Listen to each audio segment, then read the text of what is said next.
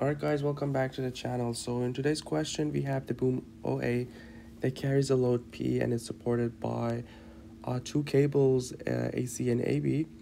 And we know that the, that the tension in the cable AB is uh, 183 pounds.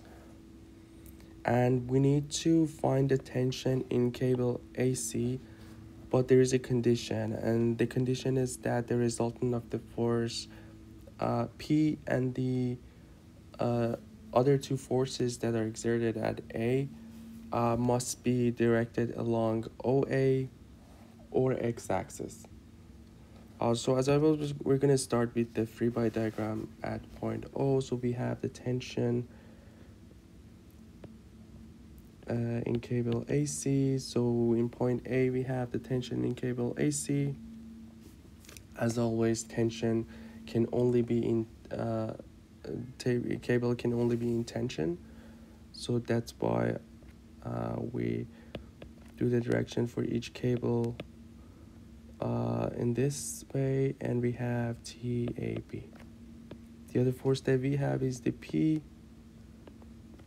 and we have to find the resultant of these three forces along the uh, x-axis which means uh, resultant R wouldn't have any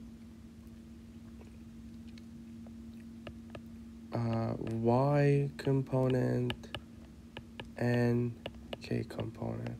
And simply uh, since all our forces are in the negative direction of X so we'll have a minus amount for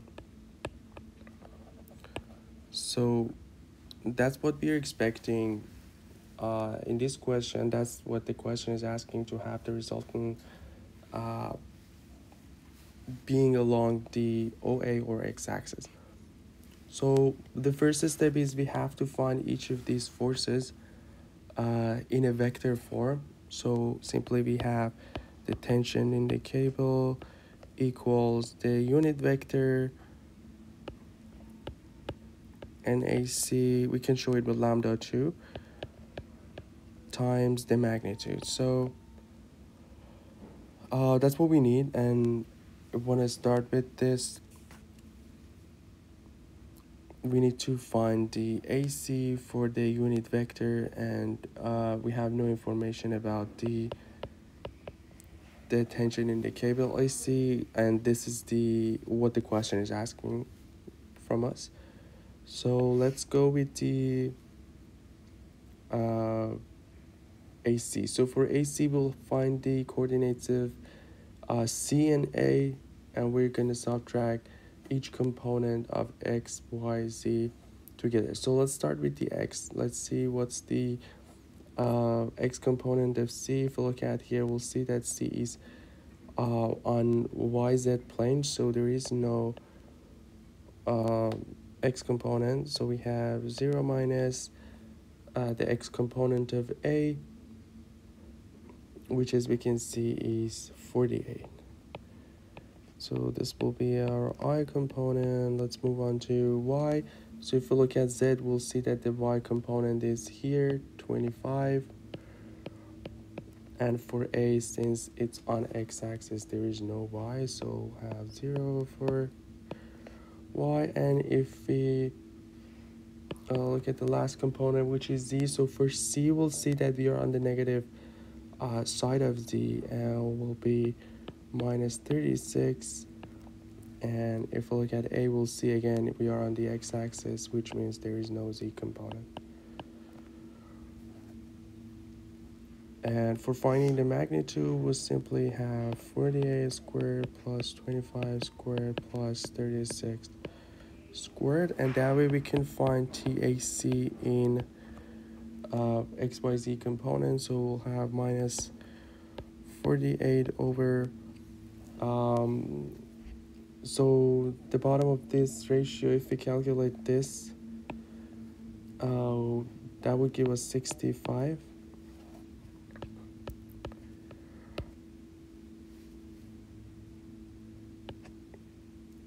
and we'll have 25 over 65 for J and we'll have minus 63 over 65 for K. All of these are multiplied by TAC. So we found the first uh, the tension in first cable in vector form. We have to do the same thing for TAB as well. So, but for TAB we have the uh, tension in the cable. So we'll have an AB unit vector times the magnitude, which we know is uh, 183. So all we need to do is to do the same thing for um,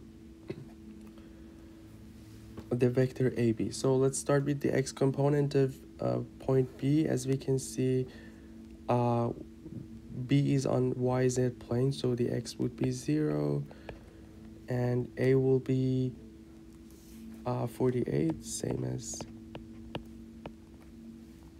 AC for J. We'll see that the, again, we are in the 29 uh, on the positive side for B, for Y component, and there wouldn't be any uh, X component for uh, point A and the last component of Z is Z for so for C we have 24 inch toward the positive direction of Z. So we have uh, sorry 24 uh, minus and A doesn't have any zero component as well. So we'll end up with and for the bottom of the ratio, again, we have 48 squared plus 29 squared plus 24 uh, squared. If we uh, calculate this one, we'll get 61 inch. Uh, so we'll, we'll get 61 uh, inches.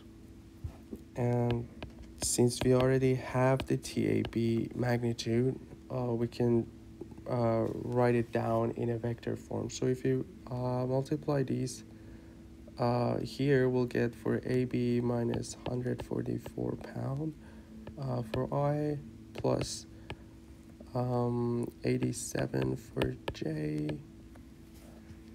and 72 for K component and everything will be in inches. So we found the second force and the last force, as we can see in the free body diagram, is the, the P force, which we see that uh, P is on the negative uh, direction of uh, J. So if we look at P, we'll look at simply minus P, J component, that's all three uh, forces that we have in a vector form. So we started with cable AC, cable AB, and at the end we'll uh, found the tension in. Uh, we found the load P in a vector form. so let's get back to the beginning of the question that uh, a resultant must be in the uh, uh, OA or x-axis. So if we look at the components that we have, uh, so if we go with uh, J component, so we have like two unknowns in here and that would be TA, C, and P. But the P only has J component, so if we go straight to the Z component of R, which is zero, we'll end up having the Z component for uh, let's show it with rz equals 0 what we have we have the z component of tac which is uh, what we have in here. So we have minus 36 over 65 tac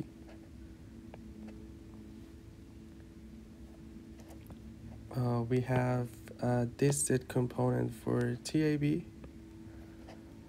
plus 72 and there is no z component for p equals 0 and we have from this equation only one unknown and that's what the question is asking. So we can find TAC 130 pounds uh, as the final answer for this question and if we plug this into the y-axis we can uh, also uh, find the load P uh, since we found one of the unknowns now. Uh, but the question is not asking for uh, P so this is the final answer for this question. See you guys